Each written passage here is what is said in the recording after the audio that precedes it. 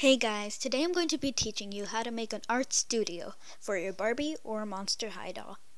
Now let's look at the materials you need to make. You need a pickup stick, a toothpaste cap, makeup brushes, a mini easel, paint, a sharpie, some paint brushes, a box, and a hole puncher. So I bought this in Ross and they had a pack of these and it was a mini easel pack. you can get this off of eBay, but in this case I got it for $2 in Ross and it brings um, it brings two of these which this can move but I glued it together so it wouldn't move because it kept on falling. And it brings 12 of these. Two stands and 12 of 12 easels. So you're going to need this.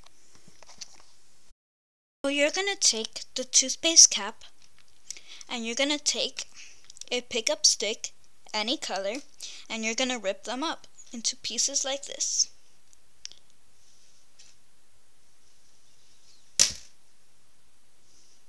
And then you're just going to stick it in here so they look like the ends of brushes.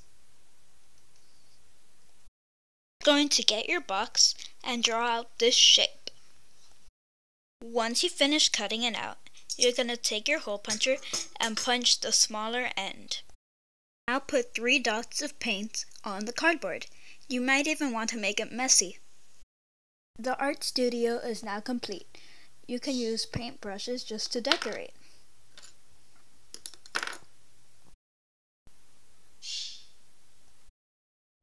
To make a Barbie apron, you need toilet paper.